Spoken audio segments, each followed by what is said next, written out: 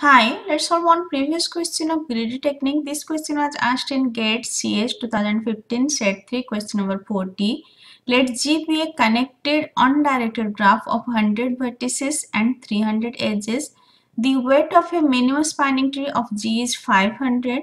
When the weight of each edge of G is increased by 5, the weight of the minimum spanning tree becomes dash. So in question it's given there are 100 vertices and 300 edges. So 100 vertices then in minimum spanning tree there will be 100 minus 1 edges. So in minimum spanning tree edges will be 100 minus 1 it's 99. Total 300 edges but from that in minimum spanning tree we choose 99 edges. So in minimum spanning tree there are 99 edges. So 99 edges will increase by 5 means 99 multiplication 5 it's 495. Now before minimum spanning tree cost was 500 now after every weight increase by 5 new cost will be 500 plus 495.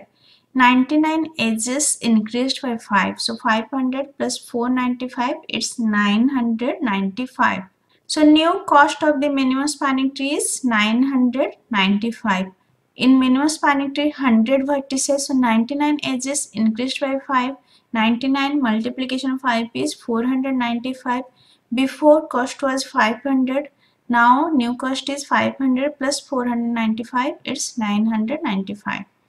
I already discussed minimum spanning tree just go through that and if this lecture is helpful for you please like and subscribe. Thank you.